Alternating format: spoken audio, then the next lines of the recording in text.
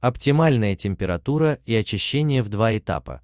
Трихолог научила правильно мыть волосы. Мыть голову – это не только очистить кожу головы и волосы. Француженки, например, считают, что лучший способ улучшить себе настроение – это вымыть волосы.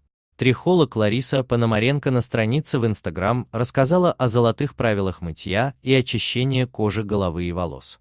Как же мыть волосы, чтобы это всегда улучшало твое настроение, а волосы были твоей гордостью?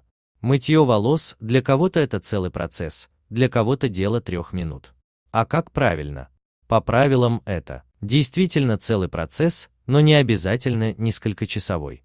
Мытье волос – это очищение кожи головы и самих волос. Шампунь подбирается по типу кожи головы и с учетом сопутствующих проблем.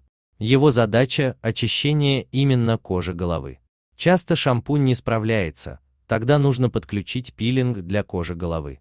Пилинг. Благодаря слабокислому составу, пилинг разрушает пептидные и липидные связи между клетками кожи и отшелушивает накопившийся кератин, кожный жир и прочие загрязнения с поверхности кожи головы.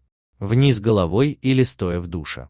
Неважно, в какой позе ты моешь голову. Главное, чтобы шампунь был нанесен по всей поверхности и дважды. Это важное условие.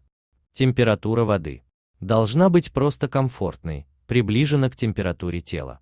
Нельзя мыть голову холодной или горячей водой. Холодная вода вызывает спазм сосудов кожи головы, горячая усиливает работу сальных желез.